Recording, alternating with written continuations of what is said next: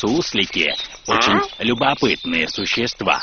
Выбегая на дорогу, они встают на задние лапки и смотрят, не летит ли орел, не бежит ли лиса, не ползет ли змея. А особо любопытные получают бампером по лбу.